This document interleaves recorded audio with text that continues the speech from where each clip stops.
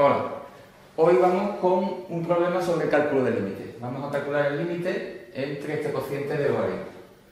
Eh, primero vamos a estudiar cuál es el comportamiento del polinomio que aparece en el argumento del logaritmo del numerado. Entonces, recordad que aquí pues, la técnica consiste en sacar fuera la mayor potencia de x que aparezca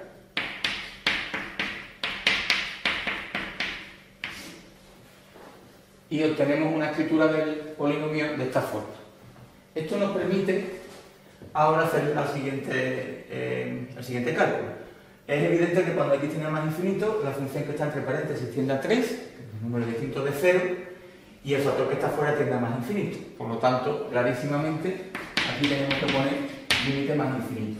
Así que la función que está arriba es una función que tiende más infinito, logaritmo de algo que tiende a más infinito. De la misma manera abajo, pues podemos descubrir que también es una función que tiende a más infinito, el logaritmo de x más 10 eh, tiende a más infinito y por lo tanto esto es una indeterminación del tipo infinito partido por infinito. Tenemos que manipular de alguna manera ese cociente para salvar la situación. Entonces vamos a utilizar para ello las propiedades que tiene el logaritmo.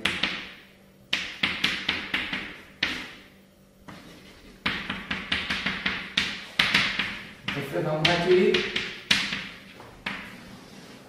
usar, vamos a usar esta descomposición que tenemos del polinomio, vamos a escribir aquí logaritmo de x cuadrado por 3 menos 1 partido por x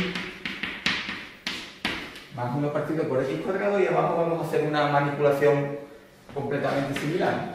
Vamos a escribir el polinomio de este modo.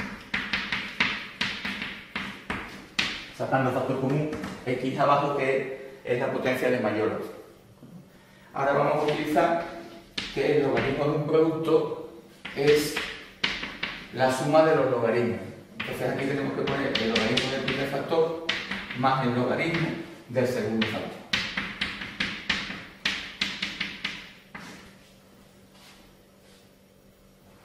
Y abajo, pues lo mismo. Logaritmo del primer factor más el logaritmo del segundo factor. Así escrito, el límite va a ser mucho más fácil de manipular. Otra propiedad que vamos a utilizar es que el logaritmo de una potencia pues, permite sacar fuera la potencia la, el exponente multiplicando. Así que aquí podemos poner dos veces el logaritmo. Ahora observamos que tanto este término de ahí como este término de aquí en realidad importa un poco para hacer el límite. Esto tiende al logaritmo de 3 y esto tiende al logaritmo de 1. Luego aquí digamos que el factor, el, término líder, el término que, que, manda de alguna manera es logaritmo de x.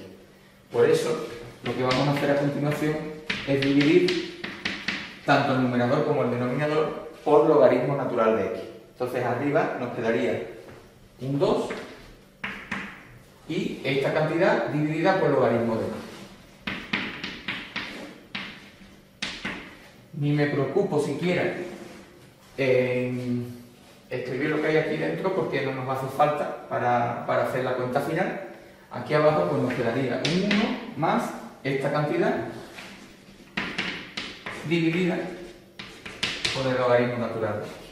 Y ahora podemos ya cerrar el ejercicio haciendo la siguiente observación. Este cociente tiende a cero, porque esto es el logaritmo de algo.